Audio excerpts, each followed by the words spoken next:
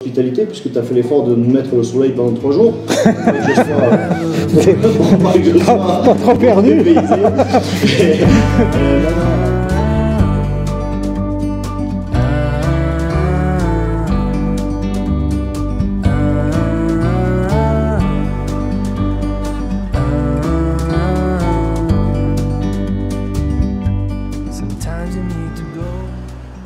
Olivier, d'abord merci d'être venu à ma rencontre, passer ces trois jours-là. Et euh, on a bien rigolé en même temps. Et donc, est-ce que tu peux te présenter en une minute euh, Parce que toi, tu es, comme on dit dans la bière? Ouais, dans la bière. Je suis euh, caviste, importateur de bière belge. Ouais. Euh, donc j'ai un- une cave à bière qui fait aussi une partie dégustation qui glisse doucement vers le bar en fait, Ouais. avec quelques bières, quelques bières pression. Et euh, ben, suite aux derniers événements, en fait, il faut, vu qu'on n'a pas le droit de travailler, il faut trouver des choses pour se, se réinventer euh, en permanence. Donc euh, j'ai commencé à m'orienter vers la brasserie Ouais. avec euh, un, petit, un petit travail à la plancha et tout. Et comme par chez nous, on n'a pas de crépier, on n'a personne qui fait ça. Et ben, qu'il faut trouver des choses que personne ne fait. Donc voilà, je suis venu suivre une formation parce que j'ai essayé par moi-même et euh, voilà, c'est quand même, il y a un tour de main à apprendre, il y a un métier. Donc c'est pour ça qu'il y a des gens comme toi. Et donc voilà, je suis venu poursuivre ça et pour essayer d'agrandir un peu mon éventail.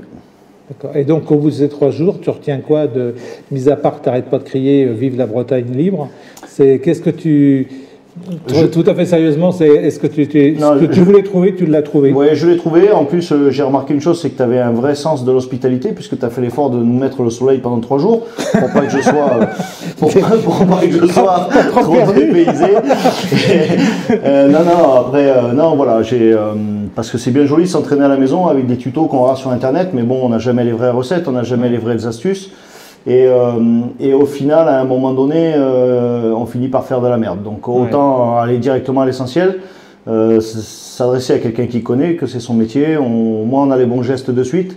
Et puis, ça permet de, de travailler correctement. Quoi. Et comment tu vois appliquer ça là, dans ton univers d'aujourd'hui? Parce que tu es très spécialisé, donc, comme tu l'as dit, sur la bière belge, hein, c'est ça, j'ai bien retenu. Et, et donc, c'est comment? Tu veux marier des, avec des, des petits événements? Comment tu imagines? Marié Ou à avec la carte? Marié avec les petits événements, euh, le jour où on pourra retravailler normalement, pourquoi pas avoir une carte.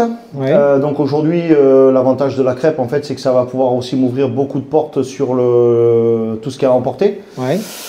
Et puis, euh, et puis surtout, c'est qu'à un moment donné, on s'aperçoit quand même que c'est c'est inépuisable. On peut aller dans, tout, dans toutes les directions qu'on veut avec la crêpe, euh, Ouais. avec, euh, avec un savoir-faire de départ, une bonne base et, et un peu d'imagination. voilà. Ouais. On- Mais une fois de plus, savoir se limiter, parce qu'on peut vite se barrer dans tous les sens. C'est c'est- c'est ce qui va être le plus dur Ouais. maintenant, quoi. D'arriver à rester sur des choses simples et bonnes surtout. Après Ouais. voilà, on va rester sur le, enfin sur moi sur mon état d'esprit que j'ai actuellement, c'est euh, un bon choix de produit. Ouais. Euh, pas avoir une carte avec 50 plats, ça sert à rien. Euh, moi actuellement j'ai j'ai 4 plats à la carte et je sélectionne le produit pour avoir quelque chose de bon. Et voilà, avoir du bon, du prix raisonnable, une assiette pleine Ouais. et puis euh, et puis de la bonne humeur et puis surtout envie de le faire quoi. Ouais, je pense que c'est l'essentiel. Moi, moi je, je le défends tout le temps, à travers les vidéos, je le dis tout le temps. Je pense qu'il faut être à la fois euh, basique et, et un petit peu surprendre euh, les gens. Quoi. On l'a bien vu qu'on peut faire des choses extraordinaires avec très peu de choses, en fait. Euh, donc après, sur la, la pratique aujourd'hui, la pratique des crêpes, des galettes, en gros, le travail autour d'un bilic, c'est euh, est-ce que maintenant tu te sens à l'aise? Ouais, c'est, euh, c'est, ouais, ça va mieux, ça va beaucoup Ouais. mieux. En plus, ça impose un certain rythme Ouais. euh, qui, qui au final me va bien. Donc après, il y a encore beaucoup de travail derrière, mais, euh, mais voilà, c'est, c'est, c'est quelque chose où c'est qu'il faut pas s'endormir devant, et, euh, et moi, c'est quelque chose que j'aime bien. Et puis voilà, après, on s'aperçoit que l'avantage aujourd'hui, c'est que les recettes de crêpes, il y a autant de recettes différentes que, que de mecs qui font des crêpes. Donc, euh, Ouais.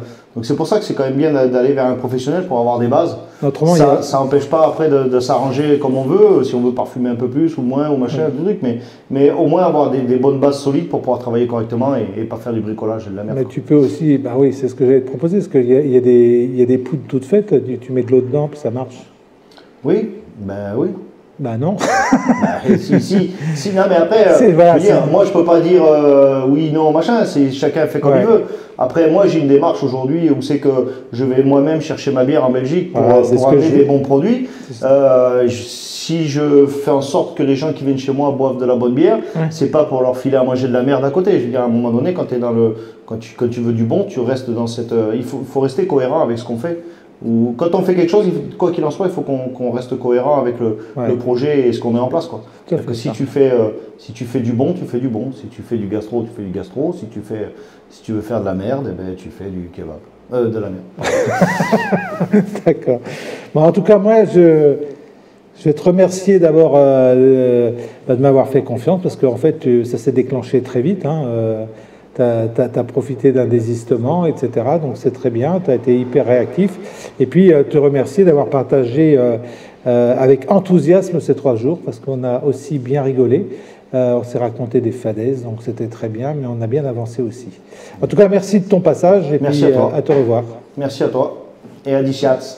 Ah, Oui, voilà, c'est, euh, il, il dit n'importe quoi. Alors, il va, il va finir quand même, ce qu'il me l'avait promis. hein. Non, Alors, non. il avait enlevé son masque, mais on Non. est à deux mètres de truc. Non. Et il va le dire. Non. Si, dis-le, tout le monde t'écoute. Vive l'Occitanie libre. Ouais, il a un dyslexique qui voulait dire Bretagne libre. Salut. Au revoir tout le monde. Bye bye. Au revoir.